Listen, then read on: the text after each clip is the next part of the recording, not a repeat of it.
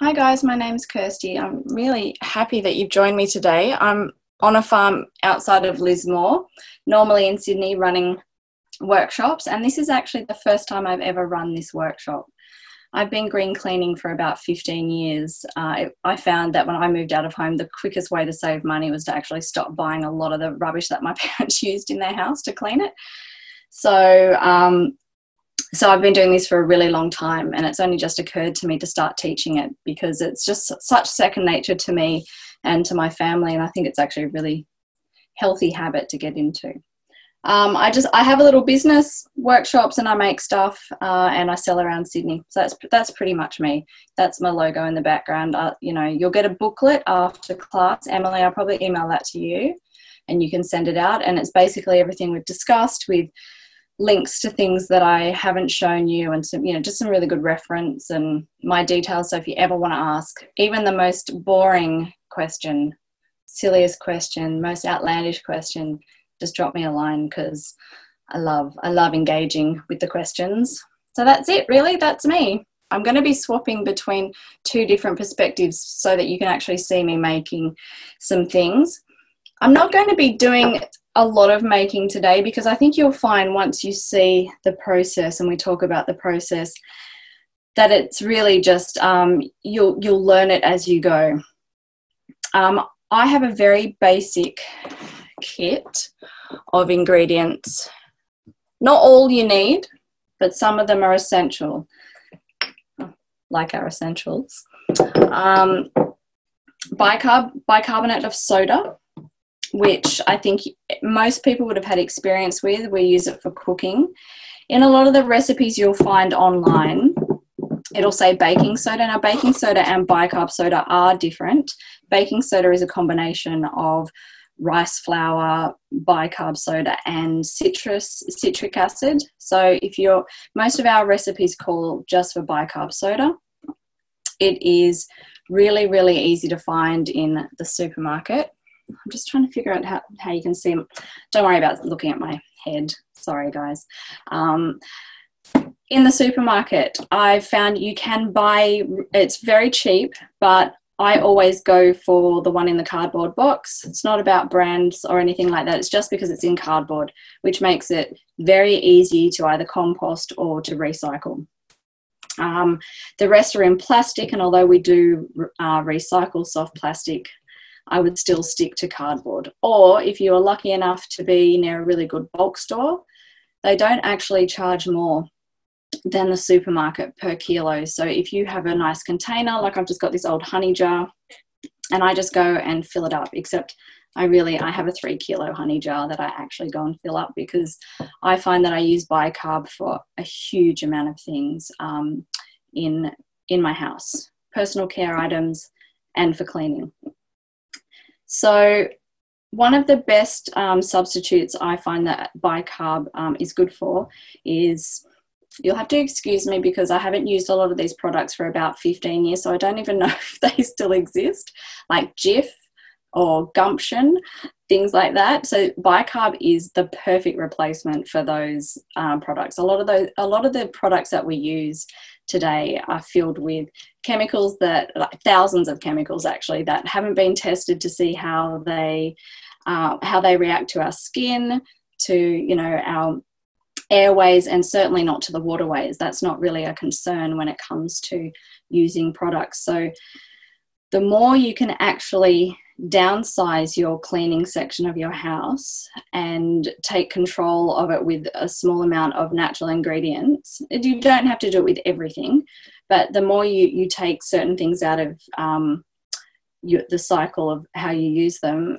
you, one, you won't notice that they were never there and two you know that the things that you're putting down the drain or that you're inhaling as you as you clean are probably not going to cause harm to anything so bicarb uh, it's not um, native to australia we don't have it here it is a mineral deposit most of it comes from america um, there is also a few deposits in china and israel Um, so it is a mined product. So it actually is quite good to be mindful of how you use it. Uh, we don't just want to go splashing it all over the place because we have no idea when or if it will run out. Um, so, yeah, so excellent as a Jif replacement. Um, I might just show you. There are various ways and so like hundreds and hundreds of recipes on the internet about how to use this. After 15 years of trying so many and adding certain bits and trying this and that, I find that simplest is always the best because when you have to make things from scratch, the more complicated and intricate it is, you know, unless you really find the time and make the time to do it, you're not going to. So you want it to be really simple and really accessible.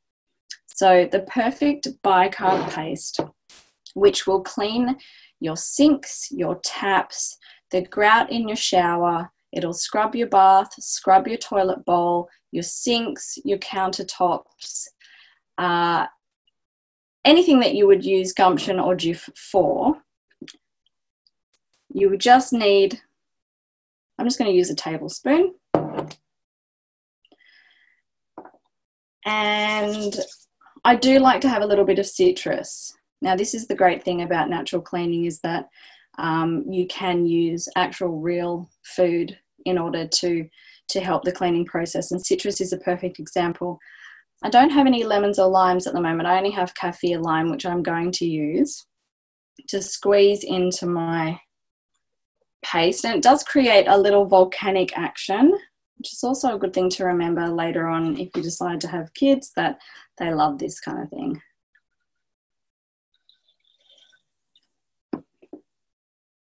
I don't know if you can see or hear that it's getting a bit volcanic. It's not the greatest angle. So I put a bit of citrus in there and then I save the peel for later. We'll be using that later. And then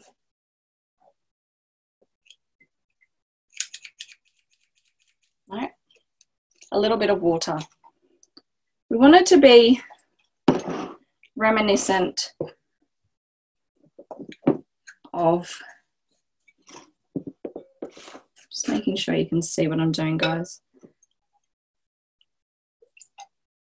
You'll have detailed instructions in the booklet, so don't really worry too much about how much I'm putting in.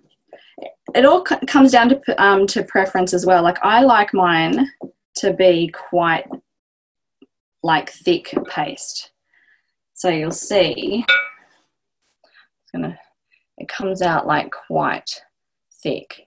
And then with gloves on, you would then be using it or with a brush, a scourer, whatever it is that you use to, to put this paste on. And not only does it smell amazing because it's got lime in there, the lime helps break down extra buildup and um, scum on things you'll find when you're using it because bicarb is so good at absorbing stuff that like when I use it on my kitchen stove top it actually even if you can't see lots of the oily residue the bicarb will pick it up and it actually becomes like it really does just pick it all up off and so your lovely green or white paste will start to turn brown then you know that it's actually doing the job and making your stove top incredibly clean so I use that for an awful lot of things. Just as an aside, you can use this to scrub your face, your body, and your hands as well. It is a really great body scrub. Um, if you're working in the garden or if you're working with um, you know dirty machinery or you know cars whatever it is you're doing if you get yourself covered in grease bicarb paste will get everything off um, it'll get dirty marks off off your body in a second much better than scrubbing with soap, absolutely. So basically that's that's your paste and you can use that paste. I make it as I go bicarb because it absorbs everything. Uh, if you've ever used it in the kitchen, you notice that when it's inside the box, it goes hard very quickly because it absorbs all the moisture out of the air. So it can get quite hard. So it is easier just to make this up as you need it and and then just use it all up in one go rather than having lots and lots of jars sitting around of, of made things. It really is one of those things that you just you make it and you go. You don't have to put the citrus in there. You can just use water and it works just as well. You can also, um, I'm going to talk to you about using vinegar. Um, we're going to make a vinegar infusion with our leftover citrus peels and some fresh herbs. And you can put that in there as well um, to kind of like double down on the cleaning because vinegar is an excellent cleaner and it's antibacterial. It kills germs. And so, again, it makes that nice volcanic paste for a second and then. Um, and then it settles down and you can just use it to scrub. I put some really weird things in the booklet, things that you may not have thought of um, that I have used bicarb and vinegar to do, like unclog sinks. It's a really natural way to unclog a sink. I don't know if you've ever had to do that. You go to Bunnings and buy bottles and bottles of Drano, which is highly, highly toxic uh, to unblock a drain. It always works, but but um, I've got a little recipe in there for using bicarb and vinegar and hot water to help unblock drains. Um, and it has saved me many, many a time in rentals. I think it's a really, really good trick because you know we're trying to save money. You don't need to call a plumber all the time.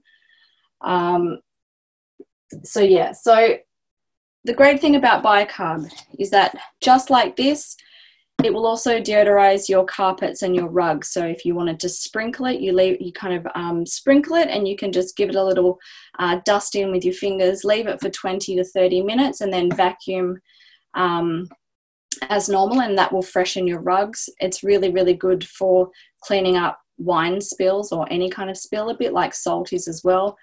Sprinkle it on quite thick and it will absorb all the moisture out, and you, you are then able to uh, vacuum, vacuum up.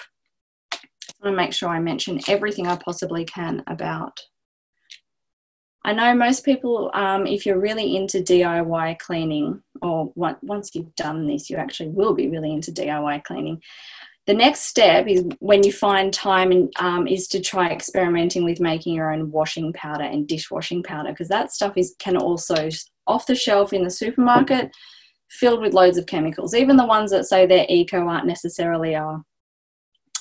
It's really important i suppose then to, to to look into reading ingredients lists so you know what is in the things that you are buying. A lot of it is the same same rubbish and can be completely avoided for years, I made my own washing powder and dishwashing powder. And I'm not going to show you how to do it here because it actually is incredibly laborious. You need to have a lot of time. I was at home with a newborn, I had all the time in the world. And that was before bulk stores were really popular. And now they have such an amazing array of um, natural Australian made washing powders and dishwashing powders that like it's just, like phew because I don't have to make it anymore because it is quite a pain. But if you do want to make it, it's this is just a little aside. There, there's an ingredient in most natural powders called washing soda. And washing soda, you can buy it at the supermarket. It's always in plastic. It's never in big quantities. It's very hard to get hold of.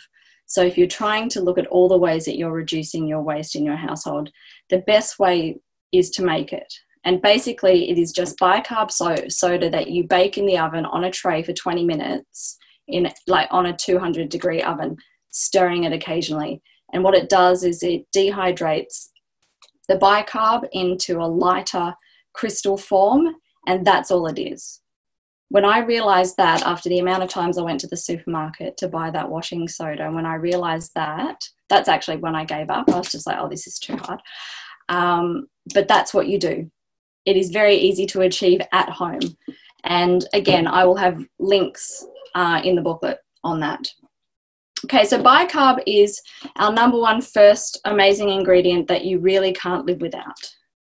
Now, I just want to quickly, awesome, okay. Um, white, white, uh, white vinegar, very easy to get, very cheap to buy in the supermarket. You'll find two grades of this in the supermarket. One is called cleaning vinegar, which is about 10 times the price. It's just it's there's not actually different apart from the fact that it's got distilled water in it. Uh, just go to your baking aisle where the white vinegar is. This is the one thing I would say. It usually comes in a one to two litre plastic bottle.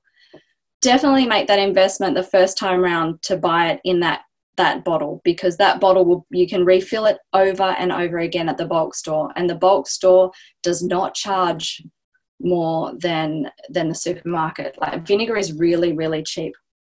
This is 20 liters which you don't need to buy 20 liters but i needed it for a workshop. And that 20 liters straight off the shelf at the bulk store because you can go into a bulk store and ask for bulk bulk which is not just oh, i need to fill up my jars. It's like i want a whole bag of flour or i'd like to have a whole jar of or a whole tub of vinegar. How much is that? I think this cost me $40 for 20 liters. It's i mean it's it's going into its second year and i use it for everything. It was an absolute bargain. You don't have to buy 20 liters though. Maybe wait until you've got the space for that. But what i'm saying is you can just go in with your old passata jars or your uh, you know your empty vinegar uh, bottle and just refill that and a, a one liter one liter is only going to cost you about four or five dollars which is excellent because you always dilute it you're never just using that that one liter should actually make three liters of product and that product that I always have in my house, it's a great way to use up citrus peels as well, and you know other ends of your herbs and things like that. Is an infused vinegar. Um, completely antibacterial, antimicrobial, uh, really good for cleaning surfaces, windows, wiping down surfaces. I always spray it on my hob and wipe my hob down before I do um, the bicarb paste. I just find that it loosens everything up a bit better. And I just, yeah, I can't live without vinegar. I would say only ever use white vinegar for cleaning, okay? It is the cheapest, and you would never buy an apple cider vinegar uh, and then waste it by cleaning your toilet. Even Cornersmith will tell you that. White vinegar is for toilet cleaning. So, um, you don't have to have a passata jar. You can use any jar you like, but the bigger the better. So we've got our squished kaffir lime from before. And when we do infusions in vinegar, it's always fresh ingredients because it infuse, infuses the oil and sometimes the color of, of the fruit or the herbs into it. Um, and you just chop it up and stick your bits in there. I've got some more. I've got mandarin peels, Got a bit of bush lemon as well, which is amazing. And I've got some basil that I just picked from the garden. Citrus is an amazing cleaner. I mean, you, you know that from, there are so many products on the market that have orange, orange peel or orange, sweet orange um, essential oil in them. It's not just for the smell, they're just the oils in the skins really, really help cut through grease. So basically, that's what we're doing. If you have more uh, peels and things, just put it all in there. And you would just leave that somewhere out of the way, not in direct sunlight, and let it sit for two to three weeks. I know it sounds like a long time, but once you start doing it, you'll have a couple of them sitting there just waiting, ready to go. I often give it a shake, but you really don't have to. I infuse oils, as you can see over there, so I have to shake those. So it's no skin off my nose to shake that. Come two weeks, and then this will have a really, really strong citrus smell, which really aids in cleaning your bench tops and things because it just leaves everything fresh. You can add your vinegar to boiling hot water and a little bit of Castile soap, which will be my next ingredient, to mop your floors um, we always want to dilute the vinegar either one to one with water or or two two parts water to one part vinegar. Really depends on how strong you want things to be. It can get up your nose, as you know, vinegar can be quite intense. So, um, you know, it's just something you have to get used to. You end up thinking it's amazing. So, I use this for everything. Um, for anyone who is using shampoo bars as well um, to wash your hair, uh, this vinegar rinse, uh, this also doubles as a vinegar rinse. Okay, you can also, when it's diluted and um, popped in a spray bottle, you can use that as a toner on your face as well. Like I, I know I'm throwing in these really weird things that kind of don't go with green cleaning, but they're also good to know that you know I this is my vinegar spray bottle. I always have it filled with my infused vinegar, diluted. And then when I go to have a shower, I take it from the kitchen into the into the shower and I spray it on my hair as conditioner once I've washed my hair with a shampoo bar. See, it's just multi-purpose. Multi-purpose. Um, before I start talking about Castile soap, um, being able to, like, I bought a whole bunch of these from IKEA years before I started on my plastic free journey. And I'm actually really glad I did because they, they last forever. But you don't have to buy all the things. Like, I know that um, the the kind of the zero waste lifestyle has become quite it looks really pretty on instagram it really does but we're not trying to um, replicate that perfectness, you know, with all of these, say, glass bottles, which these glass bottles, amber bottles, are available um, at naturopaths. A lot of them get returns. You can always see if you can get some. I tell you right now, you're cleaning in the bathroom and you drop it, terrible. Plastic actually does have a place in our life, but it's really, really good if once you find some that you try and keep it forever because it's not necessarily going to degrade if you're really careful with it.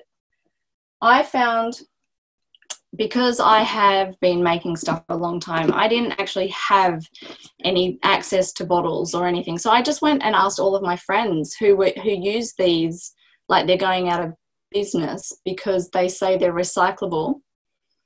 Um, so I just asked them to save a whole bunch of these for me, including the tops, because these tend to be quite interchangeable into all different types of bottles.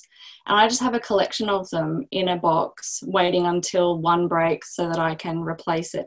And I didn't pay anything for them. I think that's really essential when trying to lower your waste, that if you don't have to pay for it, don't. Um, buying these as well, whether it is like an Aesop or a thank you hand cream, or lotion, technically they are recyclable, but they are not being recycled. This is the most undesirable type of PET plastic. Most PET plastic that gets recycled is clear, so it can be turned from this into a drink bottle. This stuff just gets chucked into landfill because it actually has no value for anybody unless it's being turned into more of these, but, but they're not. It's something important to note i think when you know when buying things. If you can find out what its end life is and it helps you make a decision about whether you actually need it. Okay that was a bit of a rant i'm sorry but it's important to note. Okay one of my next favorite ingredients is liquid castile soap.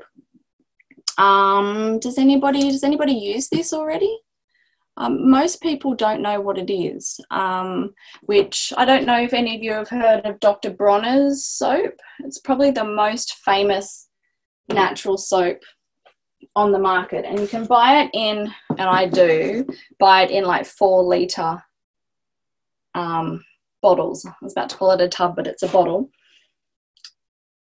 Might not be practical for you guys right now. I mean, that'll set you back $85. That will last you about 18 months. Again, this is four litres of liquid soap. It's um, an olive oil based soap. All of it um, is made from, from oils. So it, it's plant derived. It's very, very easy on the waterways, on your skin. And this will make 12 litres of product. Now, you can use it.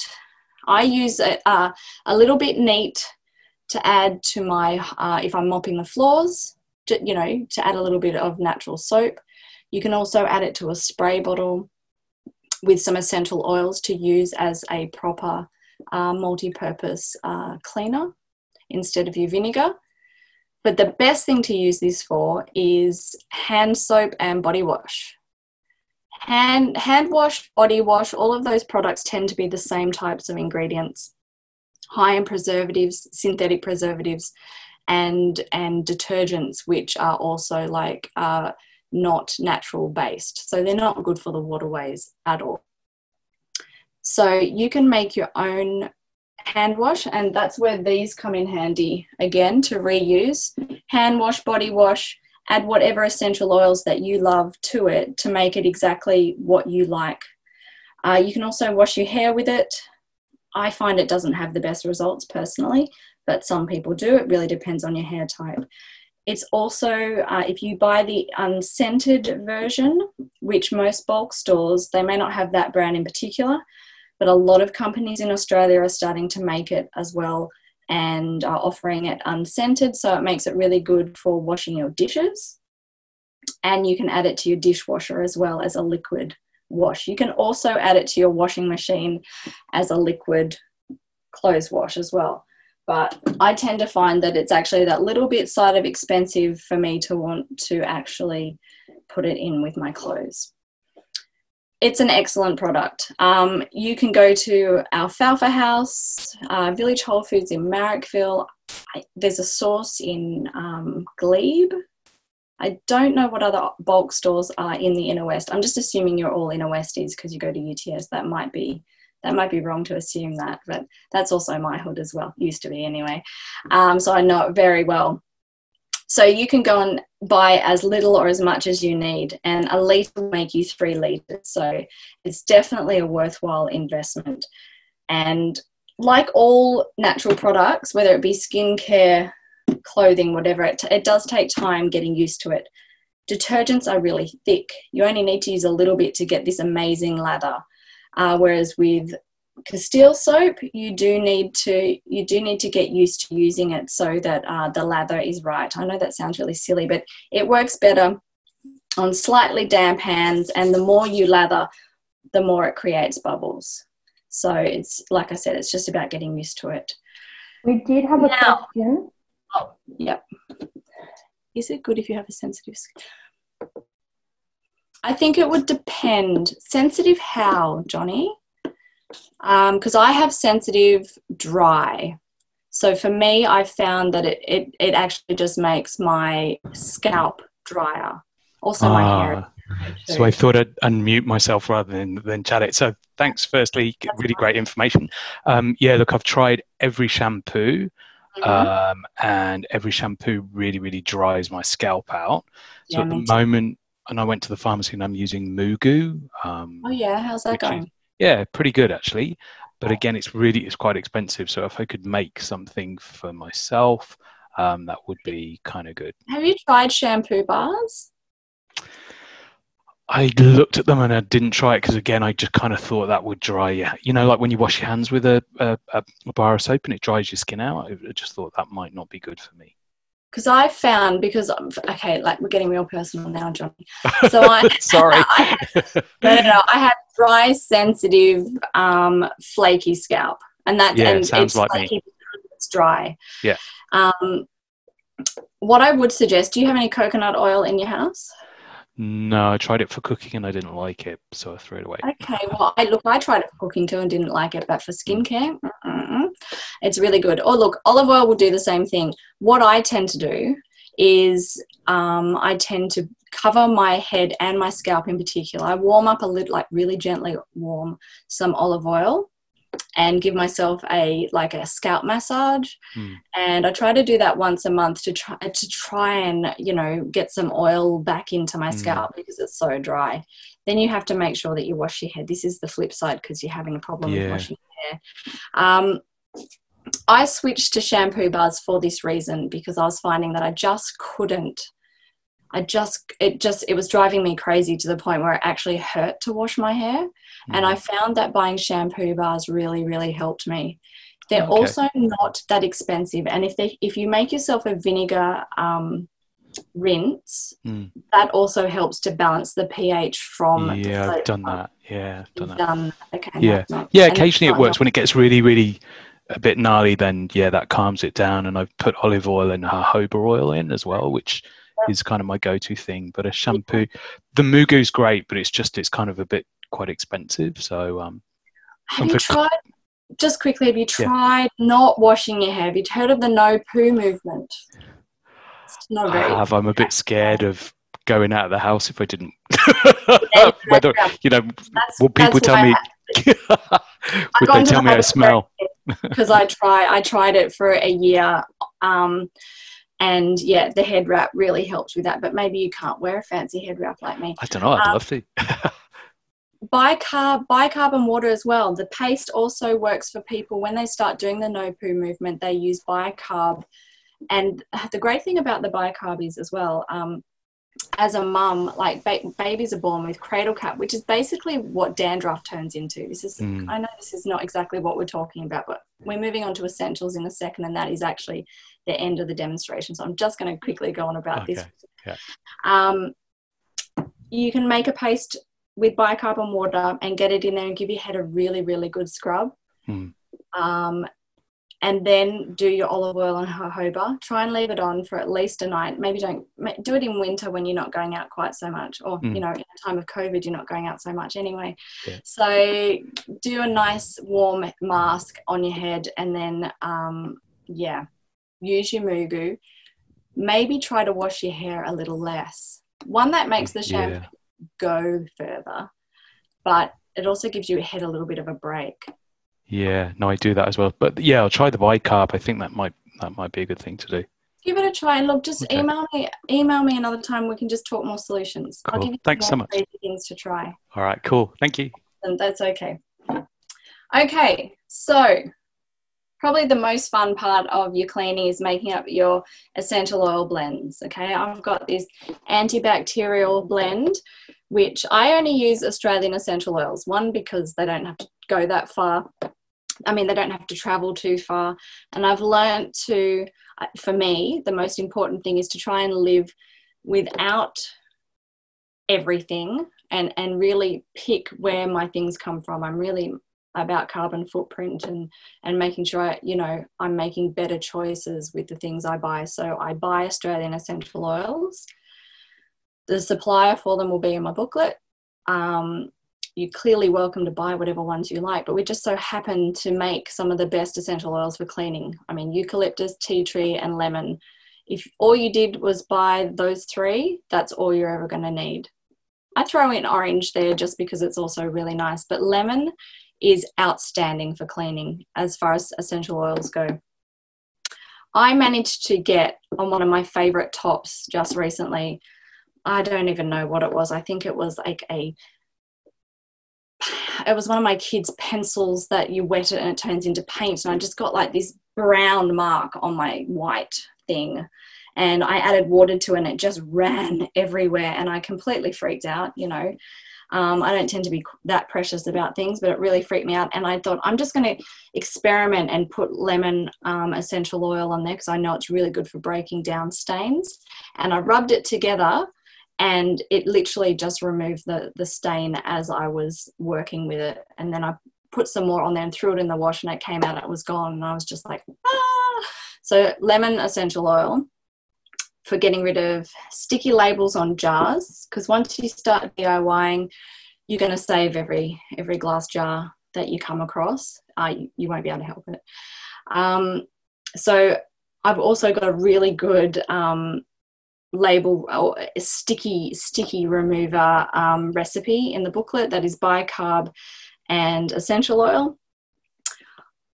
I use this so in my wash I put my powder in and I put a few sprinkles of essential oil in and then I use a little bit of vinegar in the fabric softener section because you don't need fabric softener. Uh, vinegar does the same thing and you know your clothes don't come out smelling like vinegar. Um, they come out fresh. It's antibacterial. It's just wonderful. And then your essential oils give the beautiful fresh smell. Um, we know eucalyptus is really good for cleaning. Lemon is excellent for cleaning. Tea tree is another really good one. I used to just have a spray bottle with water in it and a few drops of tea tree oil because tea tree is actually, I mean, you don't want to go out of your way to ingest it, but it's actually completely non toxic. So it's really, really good as a like to wipe down surfaces, especially that um, that kids are touching, and to be able to wash kids' toys and and all those things. I know it's a bit kid centric, um, but you know it's good to remember this. You might need it one day. So you know that if the child is then playing with said toy that you've just cleaned and putting it in their mouth, you're not actually going to do them any damage. It's only a little bit of tea tree, but but it's actually um, completely safe, which is great. So, a couple of tricks. I've told you about putting it in with your powder to to because everybody loves that smell of you know old school washing powder and fabric softener. It has a really nostalgic thing for a lot of people. But creating your own blend for that freshness and keeping your clothes fresh is um, ideal. I use this for everything. So um, I pop it in to mop the floors. I put a couple of drops in the toilet. I have it like a little spray that people can use, um, you know, when they've made when they've made a smell, and it keeps everything really fresh. Another great tip is to put a few drops into your toilet roll. You just like drip it down into there onto the paper, and then every time you use the toilet roll, a waft of fresh scent comes comes wafting out of the toilet roll, which I absolutely love. It's a bit silly, but I love it. You can also add um, bicarb to little bowls and add some essential oils to them, and they act as room deodorizers. So you can like pop it on the fridge or you know down behind you know wherever out of the way so that nobody no pet could eat them or whatever but they will add a really nice fresh smell to the house um how else do i use them i'm trying to think i actually think oh also, I put it in with my Castile soap to wash my hands and to wash my body. So I really just keep it extremely simple in that regard. So everything kind of has the same smell. The one thing that I haven't discussed, which is also in the booklet, is um, buying some clove bud oil, which comes from India. It'll be it'll be at the um, essential oil place. Is one of the best essential oils that you can have in your house clove and vinegar are two of the only things that actually kill mold. I know that we use bleach and shower cleaners to clean mold, but all that does is actually just bleach it white. That's why it comes back because it's just been bleached white rather than killed. So, uh, a teaspoon of clove bud oil in a, a spray container like this, uh, sprayed around your bathroom when you're noticing that it's getting a bit damp and moldy. Spray it on a couple of days in a row and just let it sit there and soak. Go in and spray your vinegar antibacterial spray and then make up a bicarb paste and just scrub the whole thing and then give it a good rinse. And that really should kill the mold. And that's not just in the bathroom. If you find that you've got mold in the kitchen or anything like that, then it's a really good, um, really good uh, cleaner it's incredibly intense though, just like how bleach or any of those easy off bam things can also make you faint in the bathroom. So can clove oil. It's very strong. So always be in a well ventilated area when using that. Quickly, I want to run through some really silly tips and some other things that I find really important in my cleaning kit. Um, a friend gifted me this the other day it's from Kmart. It was quite cheap, but it's really, really good for cleaning. I think, you know, I tend to shy away from from buying new things at all for cleaning. So this was great. It was lovely and it works really well. Kmart, cheap. Otherwise, they're at eco stores and they're incredibly expensive.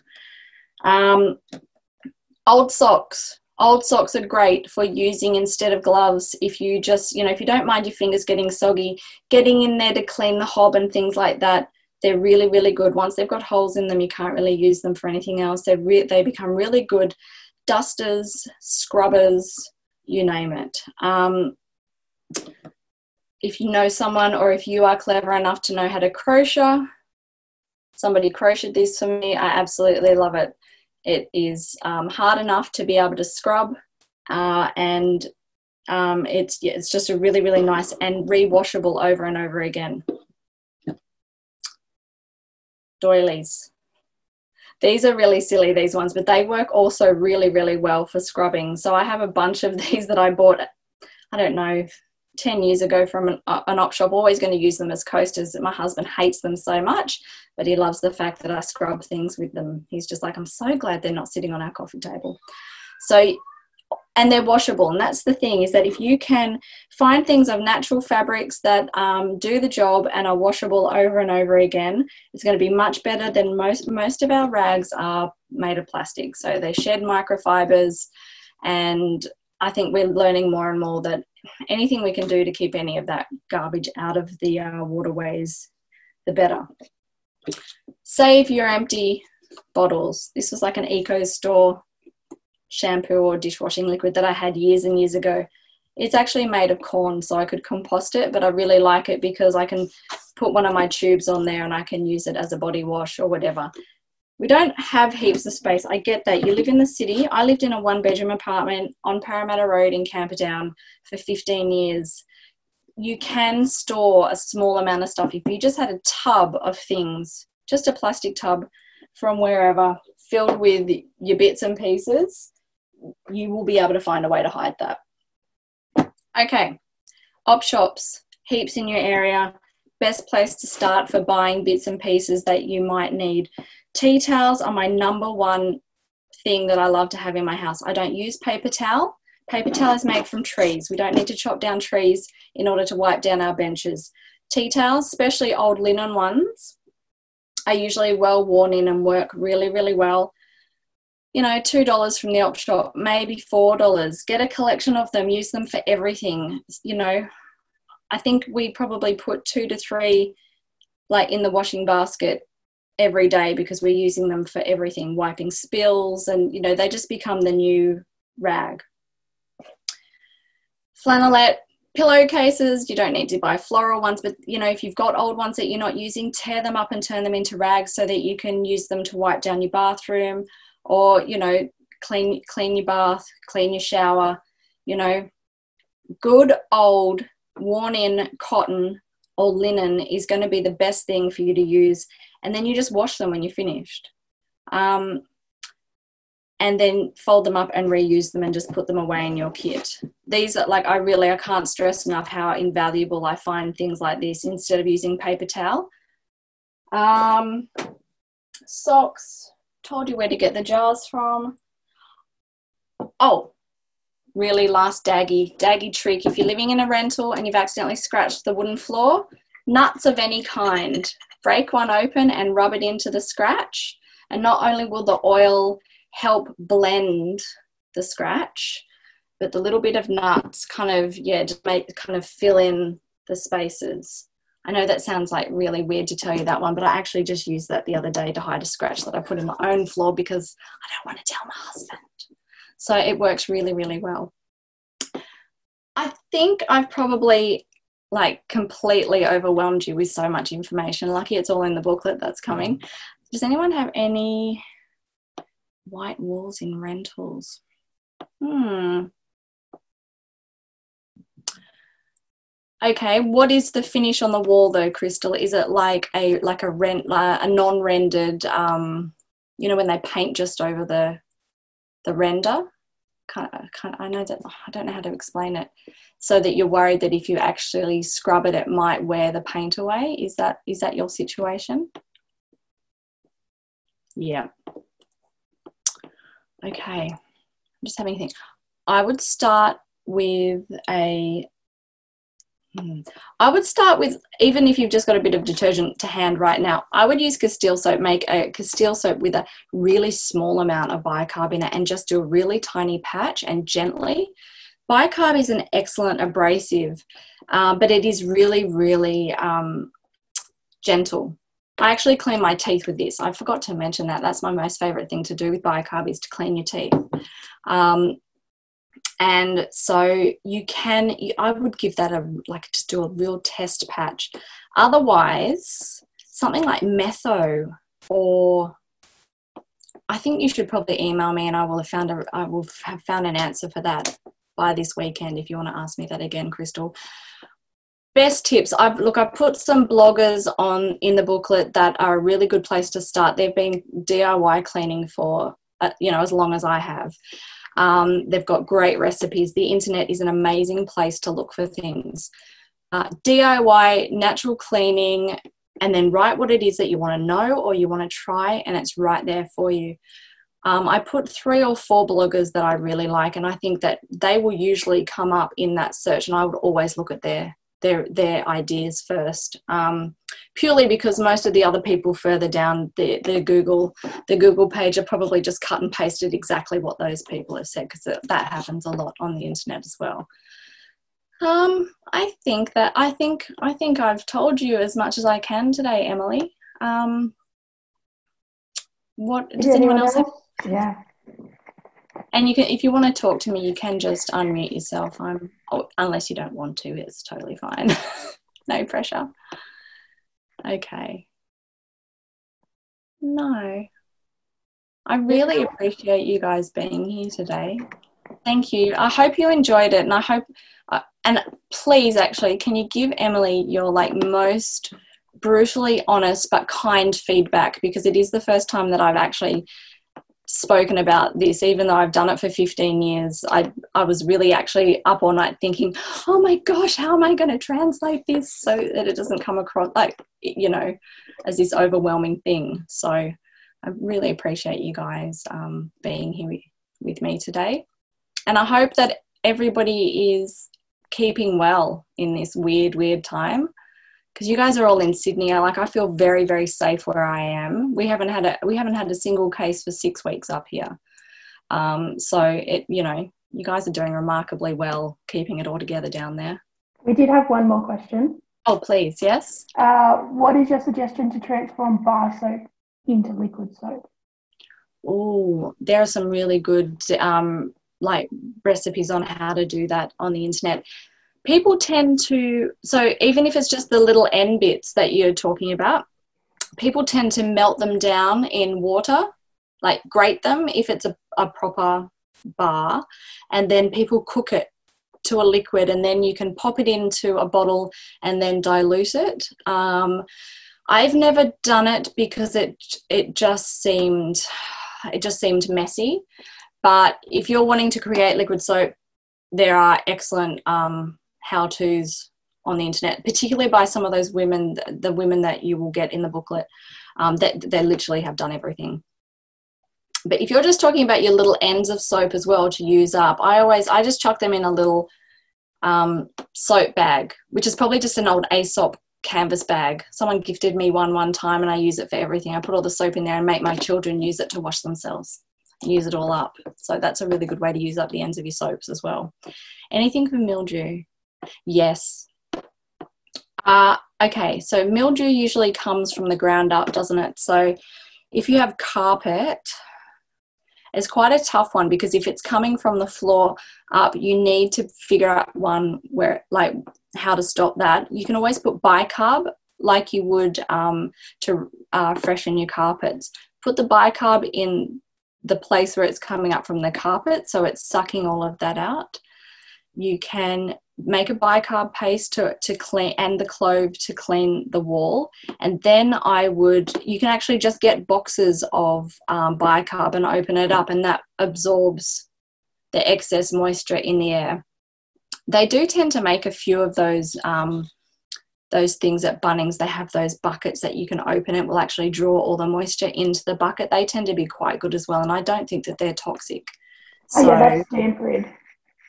Yeah. yeah. And then you can yeah. also buy refillable ones. Awesome. Okay. So yeah, you can definitely use that that same situation for mold to clean up the mildew, but in terms of sorting it out, you need to find the source of the problem as well. That was probably you probably knew that already though. Okay. Um, so I will probably arrange for the just for Caroline to get the booklet sent out later this afternoon or on Monday. Um, you'll have all my details on there, guys. Please don't be shy ever. I love, I do, I love answering questions. I mean, if I can, I try my best.